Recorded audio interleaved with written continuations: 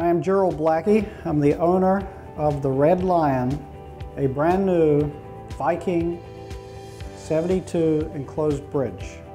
We have the XZ series combo unit on board and what a difference it makes. We have been able to utilize the system now in the mode we intended, which is to be able to have water coming in off the docks or coming through the water maker, goes through the spot zero, automatically fills a tank, and on uh, usage of water, kicks back on for refilling. The spot zero is something we can't be without. Daily, we're having to clean the boat off it's a simple exercise for us to clean the boat down in the afternoon just with a hose and most of the salt is just washed away.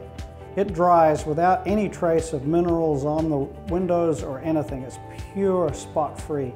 It is a beautiful little system rather than having two separate systems with all of the interconnects that happen when you have them as separate units. We have saved a lot of space and that is really something that we can utilize a lot with the bigger engines that we have now. So room for tools and extra things where space is at a premium in the engine room makes the XZ series just superb for us. One of the other benefits of having Spot Zero is that we don't carry around bottled water anymore. We have a UV filter on the supply end of the Spot Zero system, so we're drinking water that's more pure than bottled water. Generally, we're out fishing on a daily basis.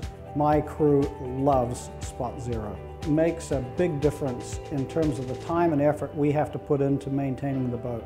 And we can get on with the other chores that are associated with uh, a great day of fishing including cleaning and filleting that fish we just caught.